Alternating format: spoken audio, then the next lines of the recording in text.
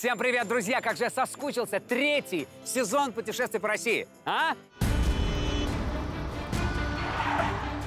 Ну что, я полностью готов, но теперь начинать мы будем не в аэропортах, а на вокзалах. Я надеюсь, вы правильно расслышали? Не ночевать, а начинать. Короче, осталось дождаться только Регину Петровну, и все. Я отправлюсь... О! Успел! Прикинь, Тимур, привет. Привет. Я, конечно, рад тебя видеть, но вообще-то я ждал Регину. Регина Петровна тоже ждала, ждала, ждала, ждала, ждала, ждала и дождалась. Только сейчас с ней совершенно другой малыш. А с тобой в этом выпуске и я, свежий, красивый, ухоженный, убранный. Добавим к человеку из 2002 человека из 2022 да? Опыт и современность, классика и фьюжн.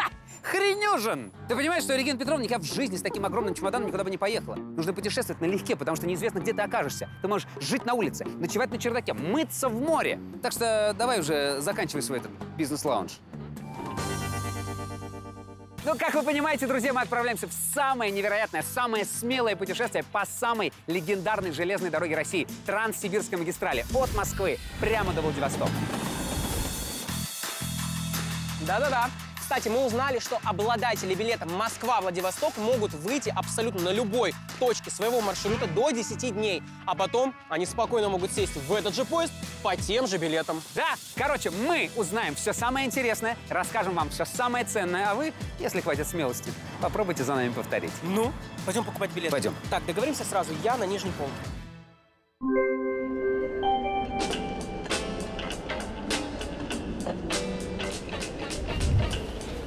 Сюда. Здрасте. Здравствуйте. А, э, да, здрасте, пожалуйста. На верхней полочке обязательно, да? С трехразовым питанием, естественно.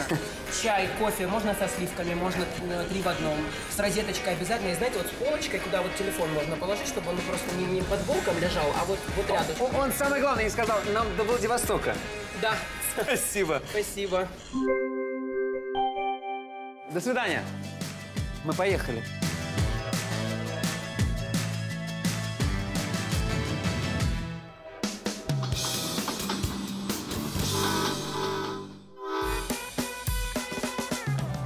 Отправляемся в самое грандиозное путешествие через всю страну по Транссибирской магистрали.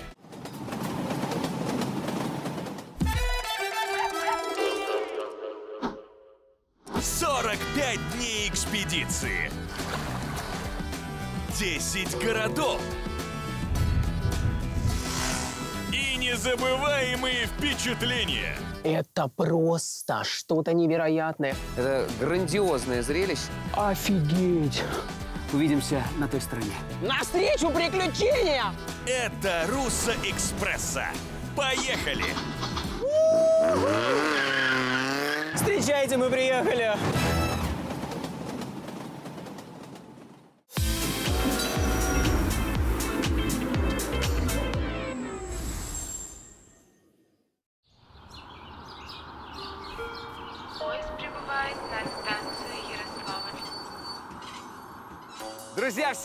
Привет! Мы в Ярославле. Что ж ты так орешь? Время пяти утра еще нет, ты уже орешь. Илки-палки, ну. А? Это что, взятка? Это Ярославль, Тимур. И благодаря этой банкноте мы с тобой решим, кто будет гулять, путешествовать по окрестностям города на деньги редакции, а кто на суточные 3000 рублей в день. Готов? Легко сейчас. Кручу, верчу, тебя запутать хочу. Угадаешь, в какой руке деньги, станешь богатым.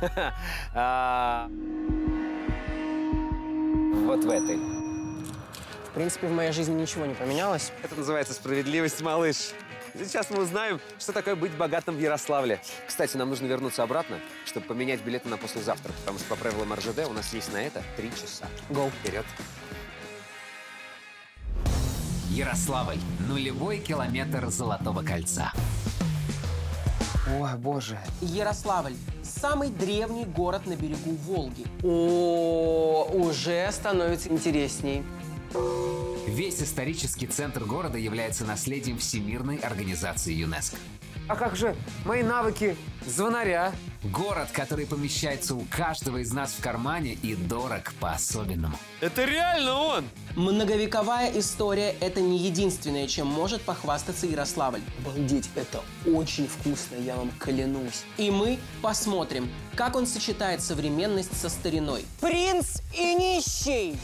В первом выпуске «Руссо Экспресс».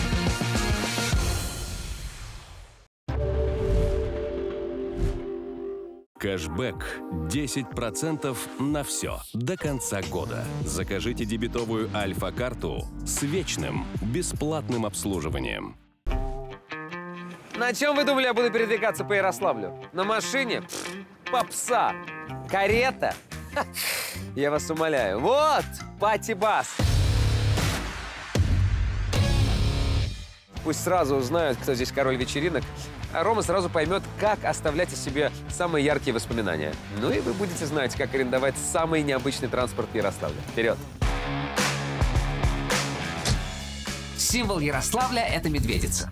Ну а я решил выбрать медведицу среди авто. Вуаля! И рык этого авто подстать. Поехали! Я знаю свою судьбу. Тусить. Тусить, а не от голода голосить. Ром, ты там живой?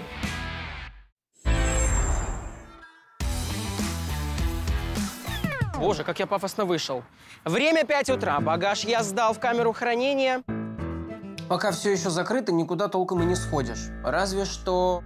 А не поехать ли мне на легендарную ферму? А легендарная она, потому что здесь доят лосей и получают лосиное молоко, которое стало визитной карточкой края. Ехать 120 километров хотелось бы поэкономней.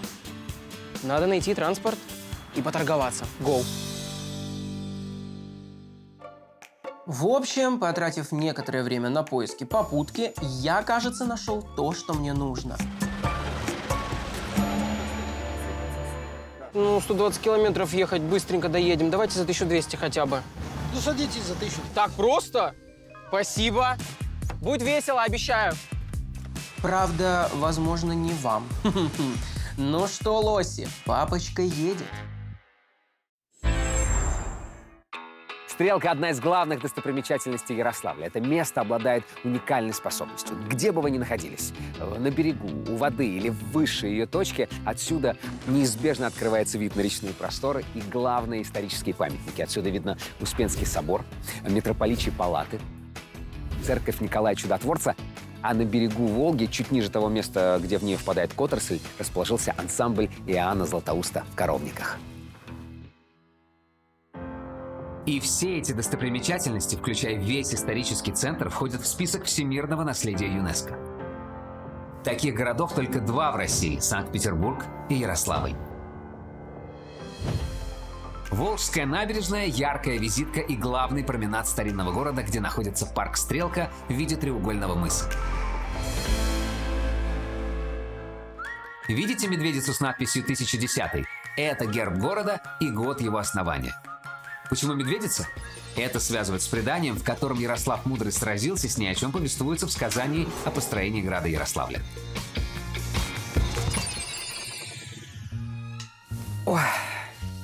В такую рань, когда еще ничего не работает, только деньги редакции могут позволить тебе почувствовать себя настоящим богачом. А лучше всего зажиточным купцом, который решил насладиться чудесным завтраком с видом на свои владения.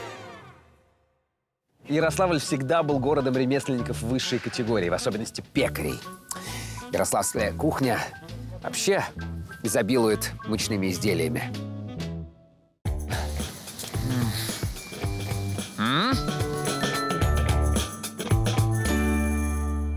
Ну и, само собой, Ярославль славится сырами, о которых мы сегодня, конечно, поговорим подробнее. А пока приятно у меня аппетита. Новый голубчик, как там поживаете? Бьете челом перед братьями вашими сахатами?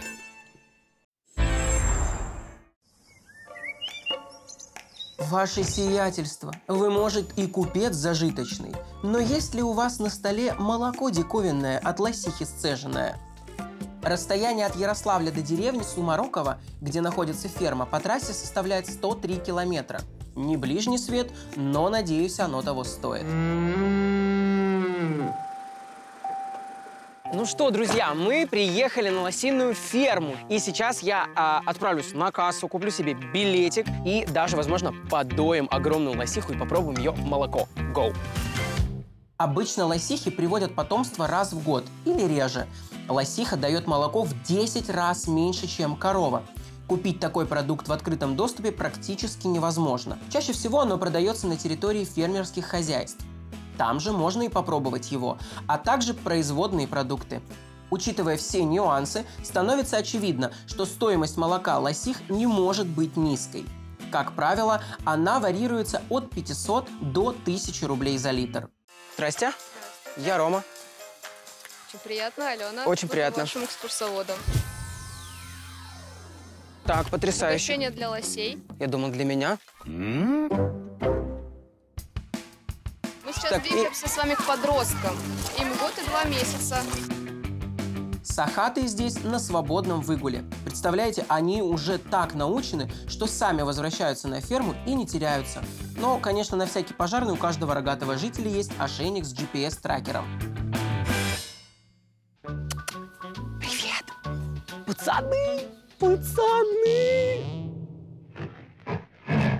За краешек. За краешек. И кормить. А вы знаете, что такое лосиный засос? Вот вы знаете, вы говорили про а, лосиный засос. А, вот так это выглядит, да? И все. И отдаете ему. Она длинная. Он берет аккуратно за кончик, вас он не коснется.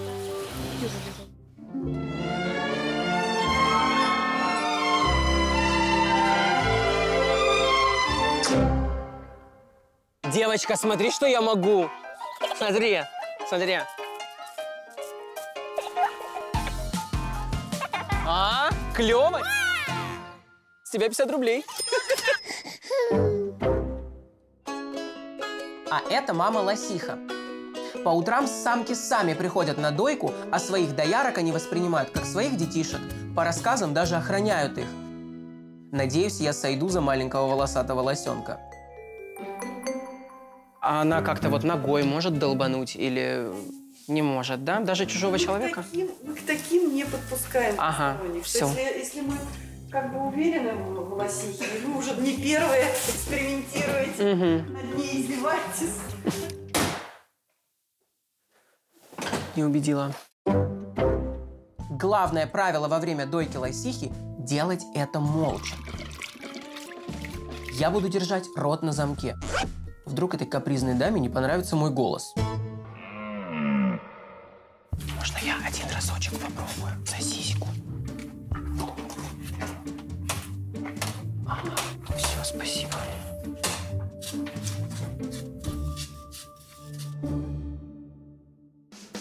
Лосиное молоко является невероятно полезным продуктом.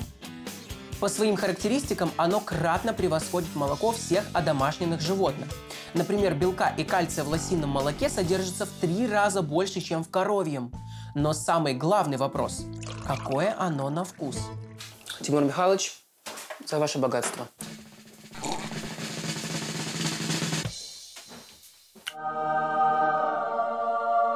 Обалдеть, это очень вкусно, я вам клянусь. Очень вкусно и не похоже вообще на коровье молоко. Оно какое-то такое чуть-чуть сладковатое, поболее жирноватое, но прям очень вкусно. Ну что, попробовали знаменитое лосиное молоко. Кстати, замечательное на вкус. На часах 11 утра, пора назад в Ярославль. Кэшбэк 10% на все до конца года. Закажите дебетовую Альфа-карту с вечным бесплатным обслуживанием.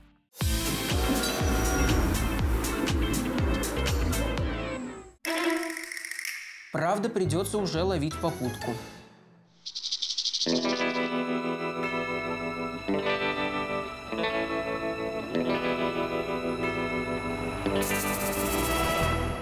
Части до города добросите?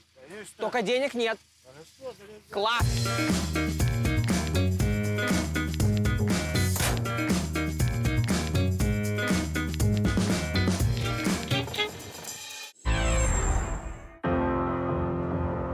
А я продолжаю путешествие по историческому центру Ярославля.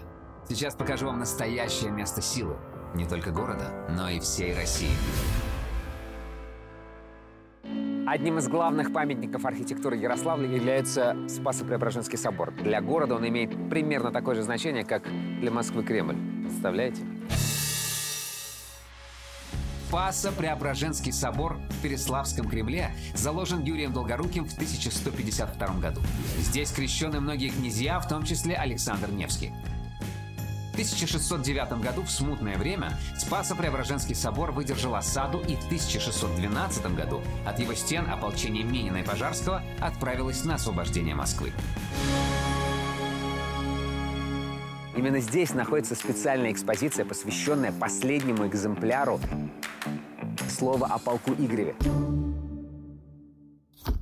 А меня, как музыканта, конечно же, привлекла возможность купить билет на звонницу. Здрасте, у меня вот. Держите. Спасибо вам. Хорошего дня. Спасибо.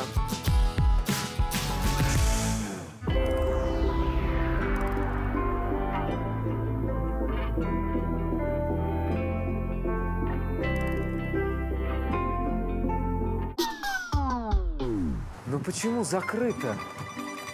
Почему закрыто? А, а как же мои навыки звонаря, приобретенные в Абдорском остроге? Вы, кстати, смотрели этот эпизод? Все, экзамен сдал. Ребята, я остаюсь. К черту эту попсу. Смотрите, как здорово. К счастью, тут есть еще возможность посмотреть панораму города с высоты 32 метров. Туда я и направляюсь. Иначе вообще было бы непонятно, за что деньги отдал. Звонница Спасо-Преображенского монастыря – это одна из лучших смотровых площадок города. Ну, я думаю, вы сами это видите. Здесь открывается потрясающий вид и на сам монастырь, и на город, и на главную городскую отрасль – реку Которосль. Но есть в Ярославле одна достопримечательность, которую готов поспорить, видел каждый житель России без исключения. И она ему дорога. Это реально он! Вы поняли, кто это вообще? Это Ярослав Мудрый, человек, в честь которого этот город назван. Только памятник располагается там, куда вообще подойти невозможно. Но при этом там есть ступеньки, которые предполагают, что придут люди, полюбуются им. Но ничего, у меня есть способ показать вам его поближе. Вперед. И вот здесь буквально, по идее, нужно выйти, подняться по ступенькам, подойти к памятнику. Но нет. Между прочим, многие горожане со мной согласны относительно расположения. Потому что стоит он спиной к Ярославлю и лицом к Москве.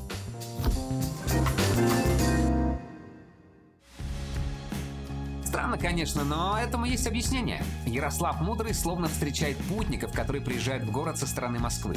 Выглядит он, конечно, очень статно. В левой руке он держит Ярославль, а в правой – меч. Ну что, центр мы с вами за 3,5 тысячи рублей в час посмотрели? Отправляемся дальше тратить деньги дорогой редакции. Тебе лишь бы тратить и тратить. Лучше купи в поезд что-нибудь поесть.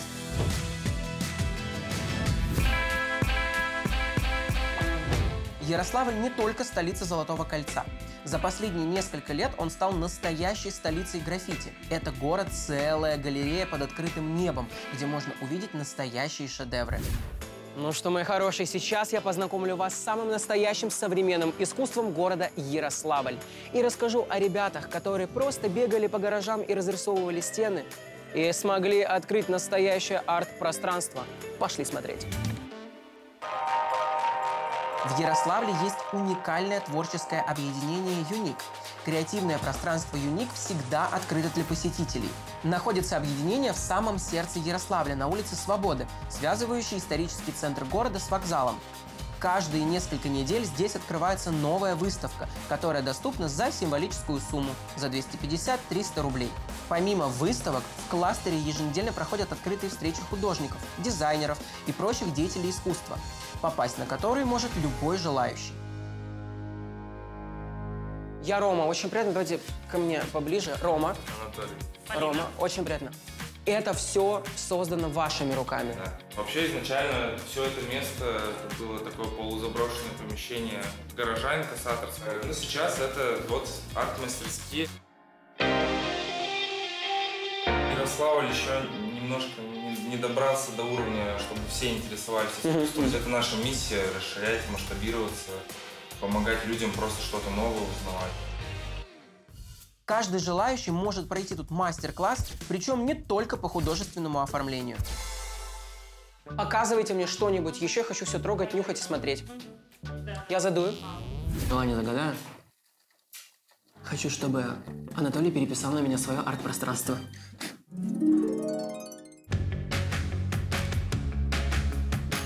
Это у нас гончарная мастерская. А я могу что-то попробовать? Да, да. Давайте пробовать. А ну-ка угадайте, что я сейчас делаю. Медведицу, голову Тимура или горшок? Что-то уже, да, происходит? Я прям сильно давлю. Можно прям вот так вот пальчиками. Пальцы должны а, находиться в одной точке. А, так вы же бы так бы... Оп! Соскочила! Слушайте, ну мне нравится то, что я сделал. Мне кажется, классно получилось. Отправим. Сохраним. Да? Обещайте мне, клянитесь. А, ну ладно. Ваза отпадает. Ну что, так и не догадались? Приделать глаза и рот – вылитый Тимур. А как подписать нам этот подарок, подскажет следующий мастер. О, уже становится еще интересней. Я Рома. Саша. Очень приятно. Александр, вы занимаетесь чем? Занимаюсь каллиграфией на базе русской вязи. Здесь сочетаются два стиля. Белым как раз написана вязь, Мгм. здесь отрывок из стихотворения Бродского, Мгм. а золотом сделан просто узор. Ну, я уже вижу, что здесь написано. Роман Гаграманов самый потрясающий, замечательный, интереснейший, популярнейший, супер классная звезда и круче, чем Тимур Родригес. Раз уж я здесь прокачиваю свое творческое начало, то, конечно, не могу не попросить Сашу показать мне парочку каллиграфических приемов. Тимур, если бы ты знал, что я для тебя делаю, ты бы сто процентов угостил меня самым дорогим и самым вкусным ужином за всю историю твоих поездок. Так, основы понятны. Попробуем на чистом листе.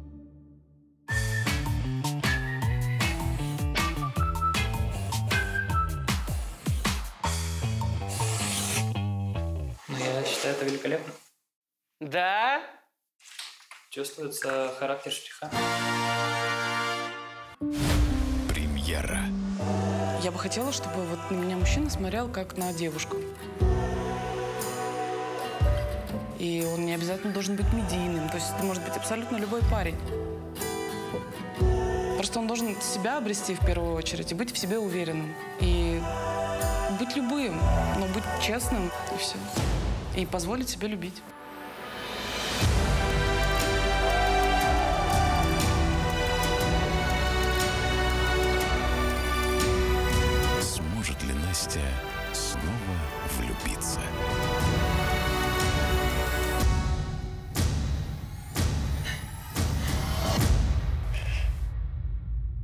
Меня никогда такого в жизни не было. Никогда.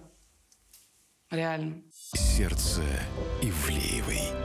Премьера 11 11 ноября в 7 вечера. Ну, слушайте, я вдохновленный, в восторге. Мне очень понравились все работы, мне очень понравились все локации внутри. И я отправляюсь дальше в город.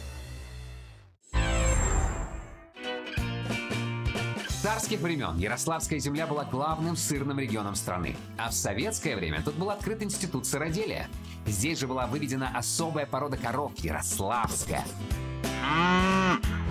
В прошлом году сыр из Ярославля стал лучшим сыром России, и это уже повод приехать на дегустацию.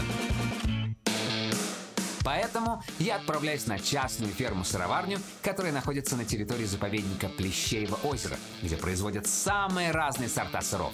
От изысканных европейских до классических домашних.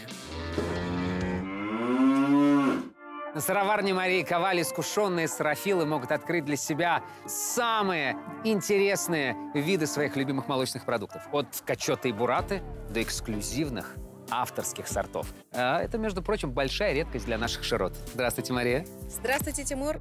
У нас есть очень интересные авторские технологии. Пойдемте, я все покажу. Мы будем варить? Да, будем варить, и вы будете делать это сами, даже Вау. без моей помощи.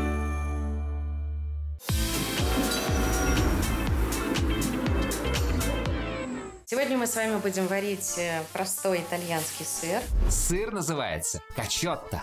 Это один из самых распространенных итальянских сыров, которые начали производить еще в 9 веке. Качотто переводится с итальянского как «сырок», потому что свежий сыр имеет сладковатый вкус. Я смотрю, вы меня ждали.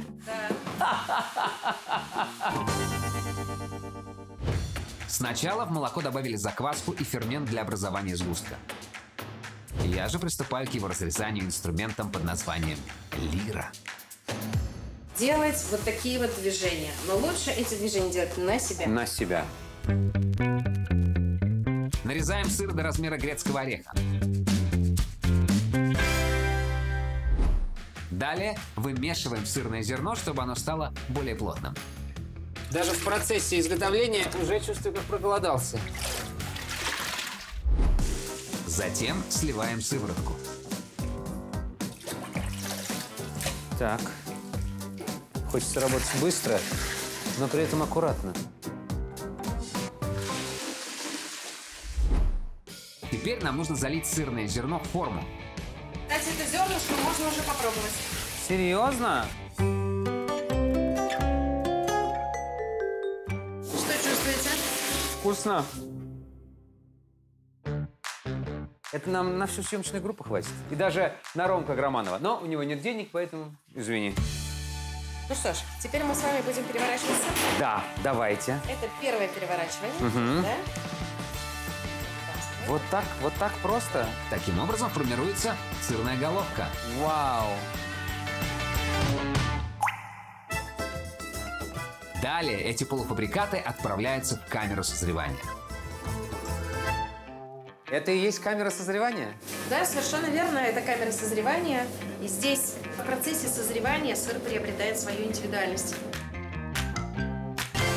Кстати, вот качота, которую мы с вами варили. Молодая качота. Ага. А это уже качота с Пож- определенными пожилая. созревания. Да. Процесс созревания сыров, в зависимости от вида, составляет от 10 дней до 2 лет при температуре 11 градусов. Ну что, мы узнали, как изготавливается сыр? А теперь пришло время его попробовать. Посмотрите на это фантастическое сырное изобилие.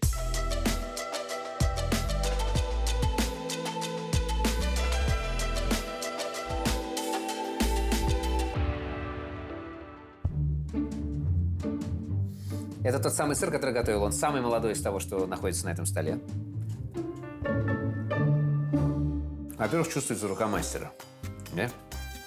Во-вторых, реально очень вкусно. Следующим я попробую сыр, который называется Переславский грюйер со сроком созревания от 3 до 5 месяцев. А макну я его в кабачковое варенье с лимоном, которое подают здесь вместо меда. Да. Сейчас с каждым новым кусочком мне будет расплываться вот это все по лицу еще шире. Так как лицо небольшое, боюсь, улыбка выйдет за пределы буквально через три укуса. А потом были Леварден Резерв, козий сыр Шеврон, твердый Кампомароне. Вот я сейчас сижу и до сих пор Ощущаю, как раскрывается вкус. Я никогда так сыр даже, мне кажется, и не ел. Так, вкусно. А можно я что-нибудь возьму с собой? До сегодняшнего дня я был сыроедом. Сегодня я стал сыроваром и вообще превратился в настоящего сыроголика. Ну, звучит не очень, но зато вкусно. А это, кстати, подарки редакции. За счет самой редакции. Ну вот, один, два, а это Роме.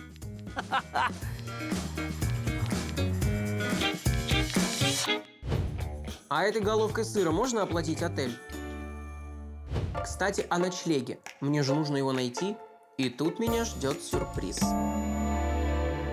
Я нашел в интернете невероятный мини-отель с какими-то сумасшедшими тусовками и вечеринками. Когда-нибудь такое слышали? Тусовки, вечеринки в отеле. По-моему, такое есть только в Ярославле. И мы сейчас идем туда заселяться и тусить.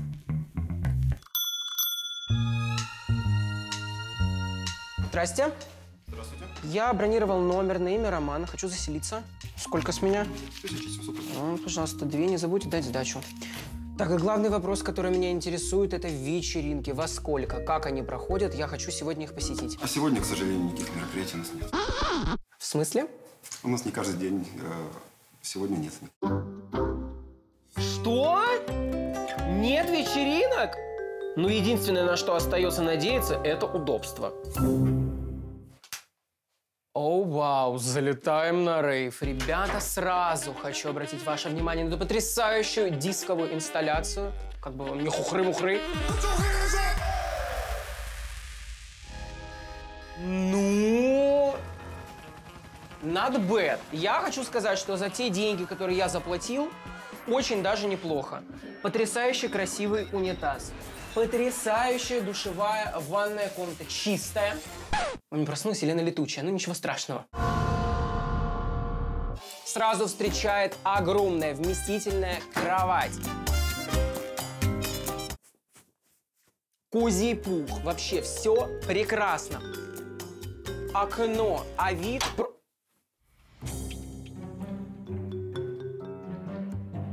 А мы влетели на бабки, походу. Но вид я вам все равно покажу. А, ну, пожалуй, пора, как говорится, на боковую, друзья. О, о, хорошо. Неплохо. Нормально, ребят. За 1700, я считаю, это лухари. Лухари-лухари, на обед вам сухари. А вот True Luxury находится в 30 километрах от Ярославля в Некрасовском районе. Там расположился глэмпинг-парк, на территории которого находятся просторные шатры с видом на Волгу. А также главная фишка этого места – домик на дереве. Глэмпинг-парк – уникальное место для людей любознательных, ведущих активный образ жизни, ищущих приключения, обожающих свободу и при этом никогда не забывающих о комфорте. Привет. Добрый день. Добрый день. Обычно я прошу самый лучший номер, но у вас я хочу попросить самый лучший домик. Самый лучший домик у нас – это домик на дереве. Ага, Вот вам ключики. Он единственный в России домик на дереве, в котором вы можете отдохнуть. Спасибо большое. Я даже не буду спрашивать, сколько он стоит, все равно за это платит редакция. А это кто? А это наш житель Владимир. Просто символ гедонизма – молчалив и созерцателен. Владимир, а можно его подержать? Ой-ой-ой-ой-ой. Ой-ой-ой-ой-ой. Володенька, Володя, здравствуй. Не бойся, я очень добрый. Друзья, в таких уникальных местах э, впечатления лучше разделить с кем-то в компании. Например, с новым другом. И так как это, получается, единственный домик на дереве в России, я проведу свой единственный день в жизни вместе с Владимиром. Премьера. В новом сезоне. Новые супергерои. Сейчас мы прикачаем этот зал. Дайте шуму! Летающая девочка. Это как возможно вообще? Жонглирующий парикмахер. Вообще крутяк. Путешественник во времени. и бесстрашный десантник. Прыгает с высоты 4000 метров. Ну да, конечно. У вас тут нет столько. Угадывай таланты вместе со звездами. Серьезно? Да что это за дети такие, я не понимаю. Вундеркинды. Новый сезон. Во вторник в полдевятого вечера. А стоит это чудо 25 тысяч за сутки. Ой, боже, и кухня, и все на месте, и микроволновка, и э, специальная штука, которая греет воду, и вы не почувствуете, что вы в России летом, где нужно поливать себя из ковшика. А вот и удобный санузел, и душ, и раковина, и все остальное. Понял. Владимир говорит, что как хозяин э, ляжет внизу, а мне предлагает спать наверху. Вау! Кровать на втором ярусе – это классно. Хотя Рома не оценил бы. Ему бы это скорее напомнило его спальное место в плацкарте. Ой.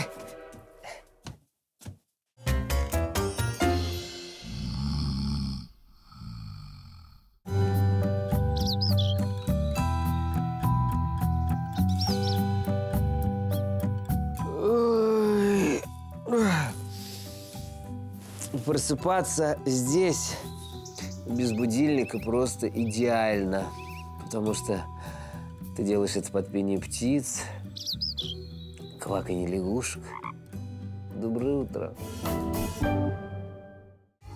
Утро умиротворения, спящий Владимир. И прекрасный завтрак. Что может быть лучше? Ой, как вкусно пахнет. Как вкусно пахнет. Так, каша. М, Да, вкусно как. М. И полезно, самое главное. Завтраки на природе – это бесценно. Ну, в смысле, я не плачу ничего. За все платит редакция.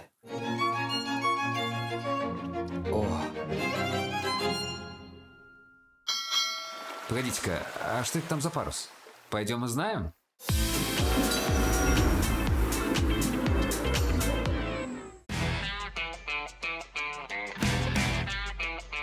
Яхтинг – модное и дорогое удовольствие. Можно заниматься в специальных клубах, а можно приобрести судно, заниматься индивидуально и стать яхтсменом. В любом случае нужно пройти специальное обучение.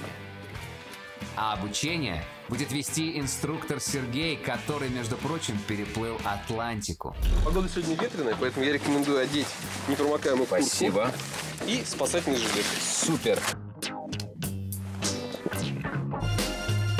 Идет мне? Ну что, Тимур, готов? Не то слово. Отлично. Согласитесь, это не фешенебельная яхта в привычном понимании этого слова, а парусная.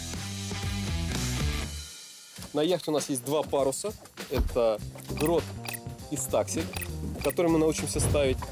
И плюс освоим два поворота. Один поворот э, оверштаг и второй фордевинт. Помимо этого, вам еще нужно знать, что такое рангоут, такелаж, фортик, рейлинг, камбус, пайолы. Ну, достаточно? И это даже не малая часть. Вообще любая терминология очень важна на судне, потому что в противном случае предложение пойти на мидель может вас оскорбить. Мы запускаем двигатель. Ну, а как же паруса? Так, небольшой мотор нам нужен для того, чтобы отойти от причала. И следующим действием будет постановка грота. Значит, ручки сверху, мизинчики вперед. Ручки сверху, мизинчики вперед. Да. Рука продолжение конца. Ага. А спину не гнем, ноги не гнем. Соответственно, стараемся работать весом и захватываем руками. И вот Ух. такими движениями. Ага. Господи, не упасть бы за борт. Тимур, смотри. Румпелем удерживай яхту носом строго на ветер. Мало того, что я бегаю как ужаленный и пытаюсь все это запомнить, мне еще нужно думать о безопасности. Хочется пригнуться, чтобы не вырубило и не, оставил, и не оставило в реке. Если хочется, лучше прыгнуть. Как эта штука называется? Гик. Гик. Чтобы не гикнуться, короче, в пути. Правый стаксельшкот готов, это я. Так. Соответственно, осмотрелся, выбрал береговой Ага. ориентир, прям рукой показывает, Да. поворачивает. И команды поворот, соответственно, выполняем. Поворот. Поворот. Опа. Так. От себя? От себя. А, к себе.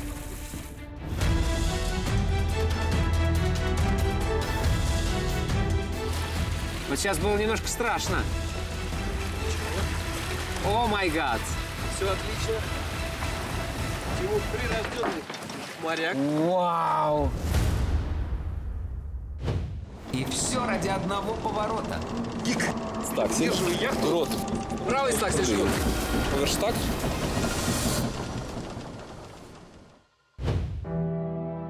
Все это оказалось намного сложнее, чем я думал, и даже экстремальнее. Но прелесть в этом отдыхе определенно есть. Но не для меня. Я надеюсь, ты не купил эту яхту. Иначе будем ездить по московскому метро. Ребята, какой же кайф. Просто как в детстве у бабушки. Речка, солнце и вообще никаких забот. Если, кстати, хотите, как я, найти место, которое подарит вам воспоминания о прекрасных моментах, тогда ловите совет. Берете смартфон, открывайте Авито, там множество вариантов с пометкой «Квартира проверена». Хочешь на море, хочешь в горах, хочешь в лесу, э, хочешь современную или как в детстве. Красота, удобное бронирование и проверенные арендодатели, с которыми можно связаться и уточнить любые детали по заселению.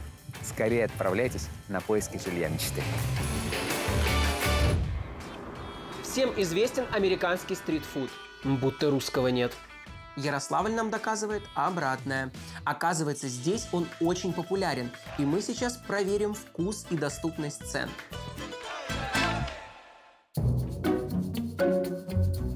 Здрасте, здрасте. Что желаете? А я желаю чего-нибудь прям вот русского. Давайте... А попробуйте суп в хлебе. Вот, давайте суп в хлебе и картошечку. И сколько с меня? Да с вас ничего не надо, я вас узнал, спасибо вам за гороскоп. Это рубрика «Гороскопы». Бесплатно? Реально? Это все из-за гороскопа? Рыбы, бы-бы-бы, уходят в отпуск. Первые три дня им кажется, что они прогуливают работу. Супер, давайте, я прям, мне прям очень приятно. Сколько ждать примерно? Минуток 10. Минут 10. Все? Ваш номерочек. Все, спасибо большое. Мы пойдем посидим на лавочке, подождем.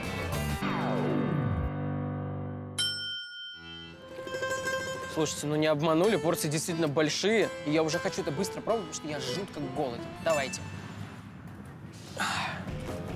Так, знаменитый их, пожалуйста, суп в хлебе. О, е! М, Ребят, пахнет потрясающе. Просто потрясающе. Я... Все.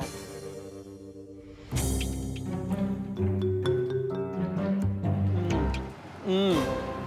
Ммм, очень вкусно. Очень сытно, вкусно, и для бюджетного туриста это на самом деле хороший а, такой вариант решения. Приятного мне аппетита. Приятного мне аппетита, Дима, а не тебе. Снимай панораму, ну сколько можно тебя учить? Две секунды я обожаю делать вот так. Вот так, советую всем, это самое вкусное. Макаете в суп,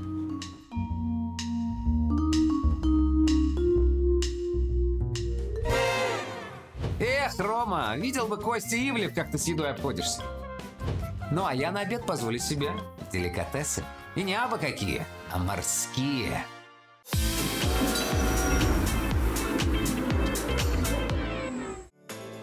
За последние годы в России наблюдается устричный бум. Общее потребление этого деликатеса за последние пять лет выросло в 7 раз. В Москве насчитывается более 100 ресторанов, где подают устрицы. И Ярославль тоже старается не отставать от этого тренда. И может похвастаться таким заведением. Центральное место ресторана – это аквариум с живыми морскими гадами из разных уголков мира. Там одних устриц 10 сортов. И, между прочим, там есть даже розовая джоли из Намибии, на Касабланка из Марокко, Анадара дальневосточная, мы, кстати, направляемся именно туда. Ну и, собственно говоря, бывает даже уникальная сахалинская спизула. Но, судя по названию, она, конечно, приврала, что она здесь бывает.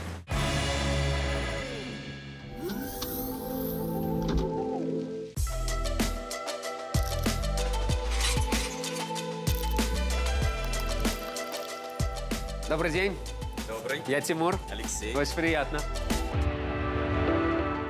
Как так получилось, что в Ярославле появился невероятный вот этот вот ассортимент? Мы решили, что в столице очень много морепродуктов. Мы хотим э, повышать культуру потребления морепродуктов, в том числе устрицы, потому что это наш продукт в наших аквариумах. И вот мы построили такую концепцию вино и устрицы. А вино и устрицы – это гармоничная пара. О, да. Чтобы было сексуально. Тут есть наши дальневосточные гребешки, анадары, наши российские устрицы. У нас также представлено несколько видов э, импортной устрицы. Это из Намибии розовая джоли и Касабланка из Марокко. Для того, чтобы устрицы всегда были свежими, ребята построили необычный аквариум, заселив его специальными бактериями и водорослями, тем самым создав экосистему океана. Ведь свежие устрицы Для сильных мужчин. Вы помните, что это невероятный источник тестостерона? Вот сейчас мы и проверим. Устрицы когда-нибудь открывал? Нет. Вот сейчас попробуешь. Так, ну это нож, это я понял. А это? Что это? Это чтобы ты руку не поранил, когда будешь устрицу открывать. Перчатка, кольчуга. Да знаешь ли ты, что это реально за перчатка?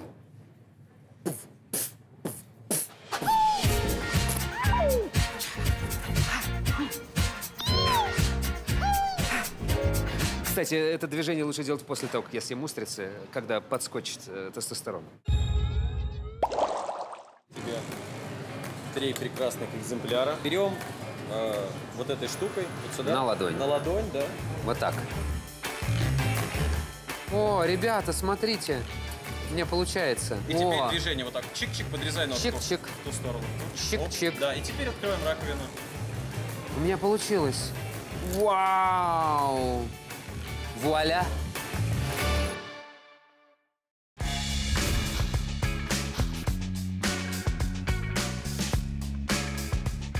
Все, теперь можно пробовать. Вау!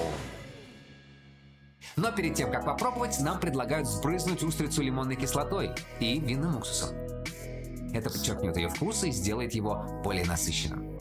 Все приготовления сделаны, и начну я, пожалуй, с нашей императорской. Съесть и запить. Это будет удобно.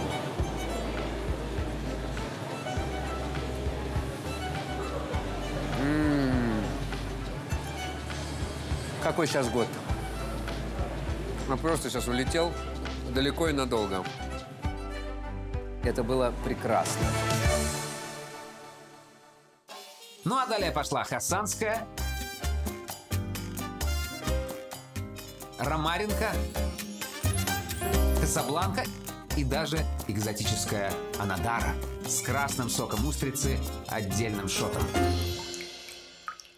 Вы представляете, я фанат морепродуктов.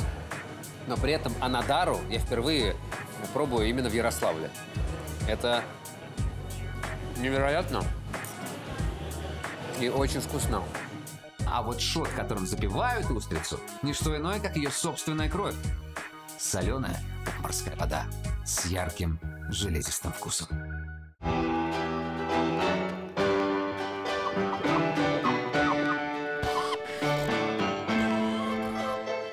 Короче, захотите классного, красивого и вкусного свидания с продолжением, знаете, куда идти.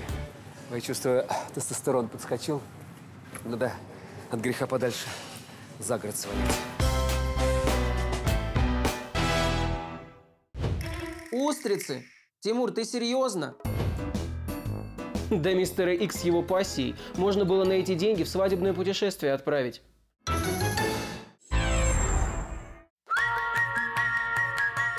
Слушай, ну чем себя занять вечером в Ярославле до отъезда поезда? Конечно же, покатушками на колесе обозрения! Колесо обозрения!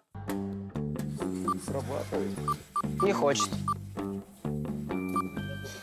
Это очень плохой знак. Потому что ничего не работает, это очень плохой знак. А если колесо сломается? Спасибо большое. Ой, ну вот это карета, конечно, ребята.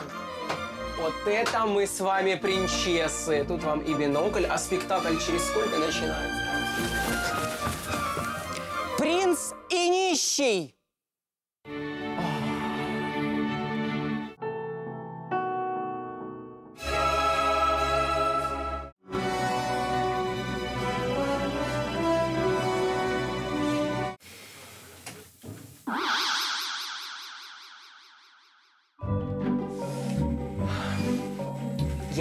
Открою вам одну небольшую тайну.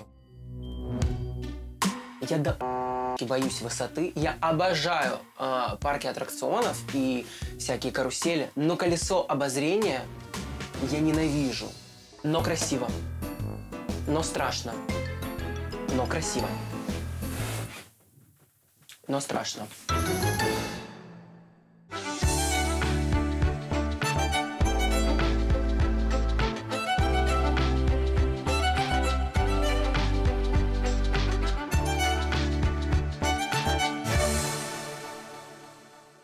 Пока не поздно, хочется сказать что-нибудь хорошее. Ярославль произвел на меня на самом деле потрясающее впечатление. Есть на что посмотреть, есть где очень вкусно можно отведать разные блюда. Люди добрые, приветливые и всегда готовы прийти вам на помощь. Приезжайте в Ярославль, будет вам хорошее настроение. Вот ты должен был вот здесь так вот отъехать на какой-то другой вид. Угу, вот так.